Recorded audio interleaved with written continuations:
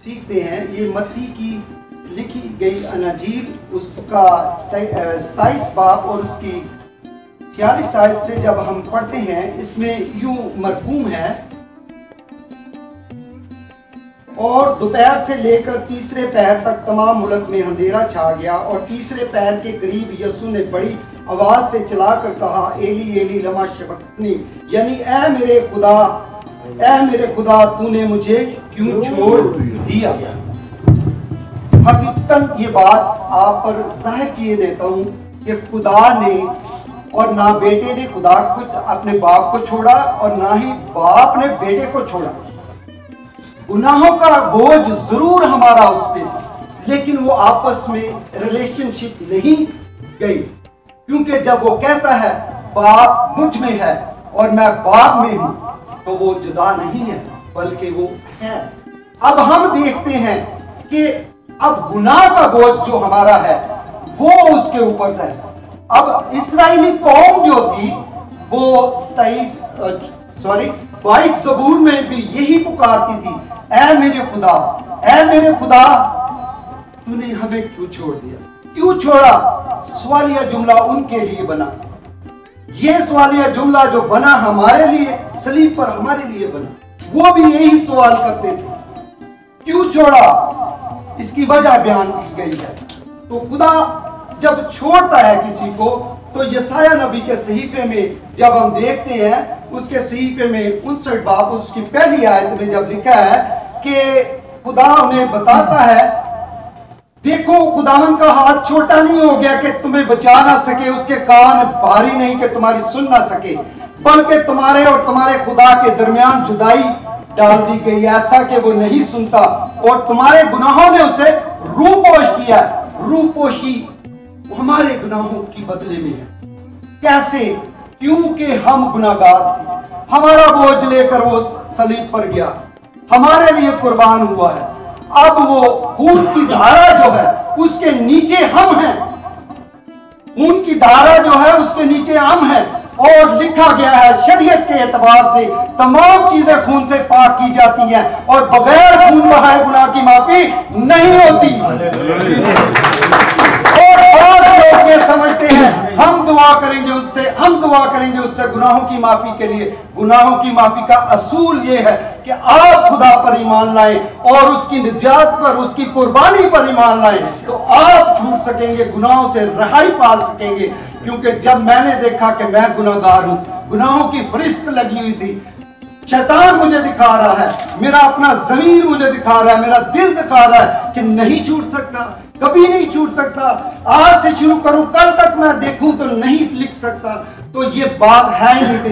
कलाम में जब मुझे सिखाया गया खादमों के वसीले से जब मैंने सुना तो लिखा था, अगर तू अपने गुनाहों का इकरार करे, वो तुम्हें सारी नाराज़गी से पाक करने में सच्चा और आदल है, और उसके बेटे यीशु का खून हमें तमाम गुनाहों से करता है।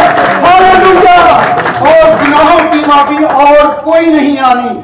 गुनाहों की माफ़ी के लिए यस्सु मसीह आया और इसके बाद कोई गुनाह की माफ़ी है नहीं। अब आपने ईमान को यकीनी बना ले। अगर आप चाहते हैं कि निजात पाना, ज़िंदगी पाना तो अपने ईमान को यकीनी बनाए, क्योंकि आपका ईमान बहकता है। ये नहीं तबार करता, ये रोज बताता है, मांग उससे माफ़ी, मांग उससे माफ़ी। नहीं, बल्कि यस्सु मसीह के खून से आप धुले हैं। और जब मैंने देखा तो क्या देखता हूँ कि एक बड़ी भीड़ है बड़ी भीड़ है और जिसका कोई शुमार नहीं। और उसने मुझसे कहा, ये कौन है और कहाँ से आए हैं? मैंने कहा, है खुदावन, तू ही जानता है ये कहाँ से आए हैं? उसने कहा, ये वो है जिन्होंने अपने जामे बड़े खून से धोकर सफ़ेद किए हैं और इसलिए किया गया है। आप अपनी खूबी से नहीं, अपनी अपनी अपनी जो है, लियाकत से नहीं बच सकते। अपनी तमाम ज़िंदगी से आप माफ़ी नहीं पा सकते, क्योंकि शरीयत से खून से माफ़ी है और शरीयत के एतबार से खून से गुनाह की माफ़ी है। जब सरदार का हिंद बर्रे का खून लेकर जो बाहर जिबा किया जाता था और फिर पाक तरीन मकान में लेकर जाकर लोगों की, उम्मत के गुनाहों की माफ़ी के लिए छिड़कता था तो उन्हें आरजी माफ़ी मिलती थी। लेकिन आपके यसु मसीह ने आइंदा की अच्छी चीज़ों का सरदार काहिन बनकर और बुज़ुर्ग तर उस खेमे की राह से जो हाथों का बना हुआ नहीं, बल्कि अपने ही खून लेकर पाक मकान में एक ही बार दाखिल हो गया और अब भी खलासी कराई। अब आप ना सोचें कि बोझ है। आपका गुनाह का बोझ उतारा है, आपकी शरीयत का बोझ उतारा है, आपके शैतान की हिरासत से निकलने का बोझ उतारा है। आपके ये दिल को जो हमेशा वर्गलाता है ये है फसाद डालने वाला ये है जो गड़बड़ करने वाला ये आपको सुधर नहीं देता। इस पर गालबाना क्योंकि दिल सब चीज़ों से हेलेबाज और लाइलाज है। इसका इलाज किसके पास है? यीशु मसीह के पास। उसकी सलीब के पास है। वो लेके गया हमें वो सलीब के पास आए आप। आप उस सलीब के पास पहुँचे आज। जब शरीयत के मुताबिक सब चीज़ें पाक की गई तो हमारी भी पकीजगी खुदा के फजल से हुई है। तो उसने कहा ऐ मेरे खुदा ऐ मेरे खुदा, तूने मुझे क्यों छोड़ दिया? आज आप ये अंदाज़ा करें कि उनके लिए आज लफ्ज यही है जिन्होंने माफ़ी का यकीन नहीं किया, जो यसु मसीह की धारा के नीचे खून के नहीं एतबारी बने। आज भी गुनाह में है। आज मैं आपसे एक बात करना चाहता हूँ। अगर इस पिछली तरफ़ कब्रिस्तान है, यहाँ लोगों का हजूम है, मेरा बच्चा उस तालाब में गिर गया है, छोटा है, मैं तैरना नहीं जानता स्विमिंग नहीं जानता, मैं उससे बचा नहीं सकता। मैं पीछे भागूँगा या इस तरफ़ भागूँगा? आप इसका फैसला करें। कहा मैं जाऊँ? इस तरफ़ जाऊँ या इस तरफ़ जाऊँ? यहाँ कब्रस्तान पीछे है। लोग जो है सो रहे हैं। लोग जो है, नहीं मेरी हेल्प कर सकते, लेकिन हजूम मेरी हेल्प कर सकता है। इसमें कोई ऐसा शख्स होगा जो मुझे, मेरे बच्चे को फिर से मिला दे, ज़िंदगी दे दे। यही बात है कि मैं अपने बेटे को नहीं बचा सकता। मेरा बेटा मुझे नहीं बचा सकता गुनाहों से। और बचा कौन सकता है? यसु मसीह, जो निजात के लिए आया और जिसने खून बहाया और हमें ज़िंदगी की तरफ़ ले आया। वो ही हमें बचा सकता है। बहुत सी जाने, यहाँ ये भी होंगी, अब तक उन्होंने गुनाहों की माफ़ी के लिए यसु मसीह को कबूल नहीं किया।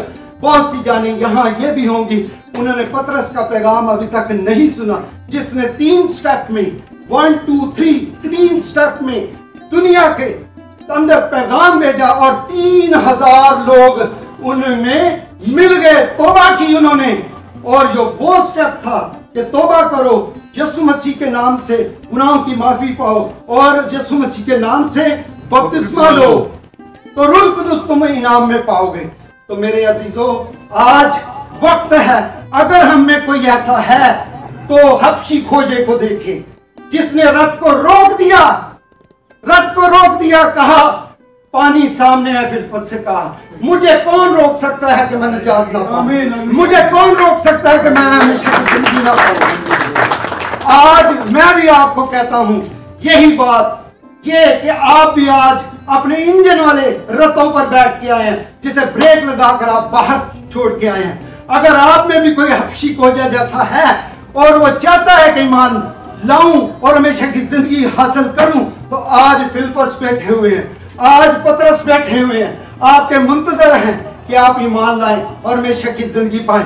ये वक्त बार बार नहीं आएगा। ज़िंदगी बार बार नहीं मिलेगी। हमेशा की ज़िंदगी एक ही बार है। और वो खुदावंद यसु मसीह पर ईमान लाने के वसीले से हालाँकि वो हमारी खताओं के सबब से घायल किया गया और हमारी बदकरदारी के लिए उस पर सियासत हुई और उसके मार खाने से हमने शिफा पाई।